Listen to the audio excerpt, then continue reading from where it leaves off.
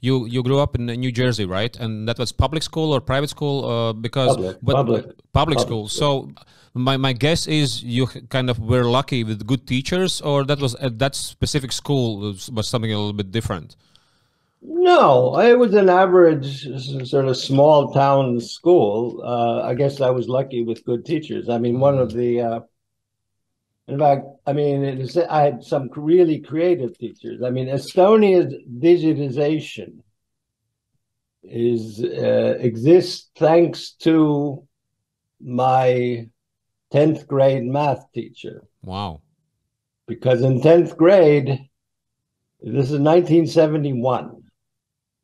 And she said, and she was doing her PhD in math education. And she said, I, I want to do this. I want to see if I can teach kids to program or to code. 71. Wow. Okay.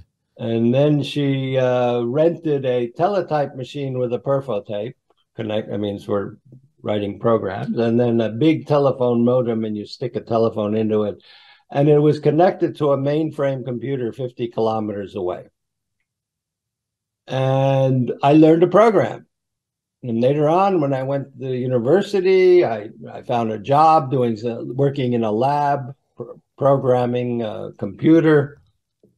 I mean, and when I had that job, it was a, it was called it was the computer it was a PDP-8. And the reason it was called a PDP-8, then it was about, I mean, it was like a, a meter long and 80 centimeters deep and 30 kilometer, um, 30 centimeters high. The reason it's called a PDP-8 is that it had 8K of memory, which is the size of an empty email today. So you had to program in in assembler language, which is it's just it's hexadecimal six base 16. So all the commands are either, I mean, a combination of letters and numbers of zero through nine and A, B, C, D, E, F, G. So I learned that. I've never used it since, but after that, I never worried about tech. Now, 25 years after that, 22 years after that, anyway, 1993, I was, um, you know, we were all in a mess in 1993, very poor, backwards, all these problems we had. Um, 19, um, I mean, ni- 1938, Latvia was richer than Estonia, and Estonia in GDP per capita was richer than Finland.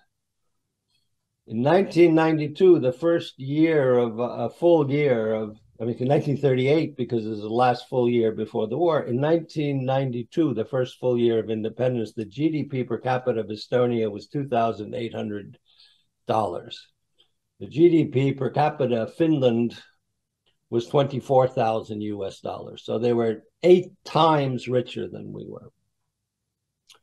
Now we were in bad shape. And I said, well, how are we ever going to catch up? I mean, it's like, it's Zeno's paradox with, you know, Achilles running after the tortoise. I mean, even if a country grows just a little bit and we grow a lot, we still won't catch up. So, I was, yeah. And then uh, the other thing that happened was um, 1993, the first web browser ever came out. It was called Mosaic. You had to go buy it. You now we download these browsers, but then you had to go to a store.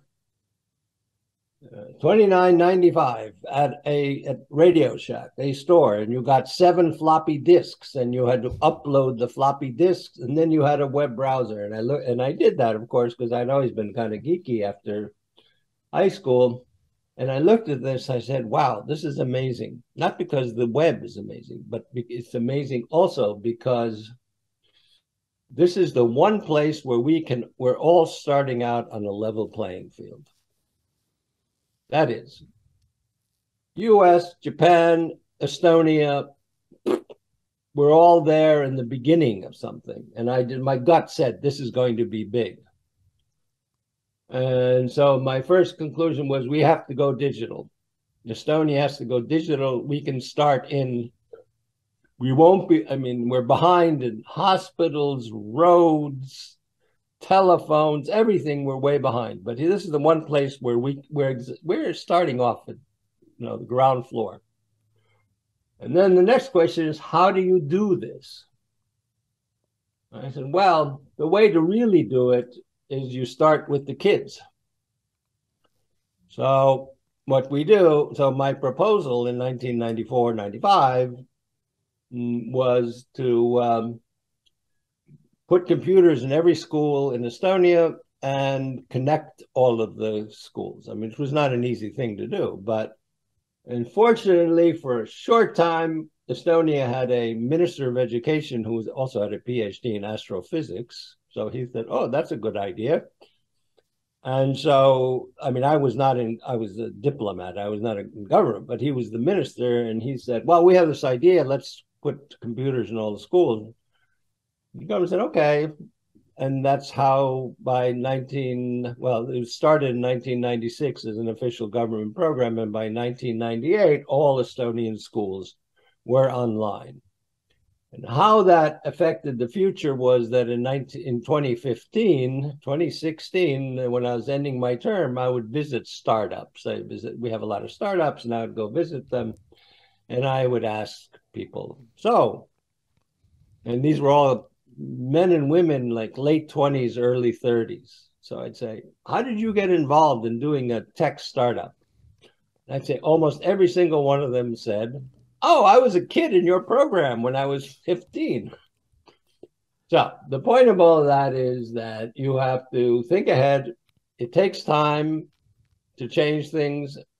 But if I hadn't had that teacher in 1971 who had this crazy idea, at that time, a completely crazy idea, um, I would not have had my crazy idea.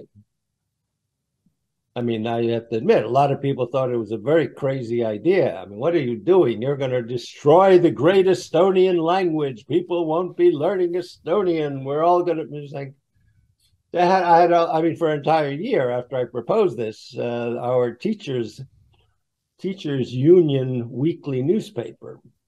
Mm, I mean, every week it was, you know, sort of like crappy Soviet style newspaper. It was like, you know, Mm, but uh, every week there would be at least one article saying how stupid I was and how I was going to destroy the national culture and by destroying the language and destroying education. So every week I'd say, what did they say this week? And after a while it died down. But the point is that it was not popular, but the kids loved it. And then the kids get older and then they're adults and then they're they're all richer than I am. So, by the way, congratulations! You now have tenth uh, unicorn as yeah. one of the side effects, right? One of the wonderful side effects of that. Well, but, I mean, all of those kids, I mean, all the people who are doing it started out originally in this program mm. in hmm. the in the mid 1990s. Actually, almost all, not yeah. every single one, but most of them. By the way, what's what's the name of teacher of your teacher uh, New Jersey? well, we called her Mrs. Cummings. I don't know. She's Christine Cummings. I mean, she's she's in her late 80s now. She's still okay. alive. Uh, and imagine, so for example, you you helped to train these digital muscles, right, for those kids, and those muscles just kind of got stronger, and what what came out of that, right? So I I just can, can imagine if we could just uh, add to this uh, educational process, this critical thinking, and all these life skills that we need, communication, for example, and all that stuff, what could be possibly um, achievable? Because this is such an inspirational story, uh, Mr. Ilves. This is such an inspirational uh, story.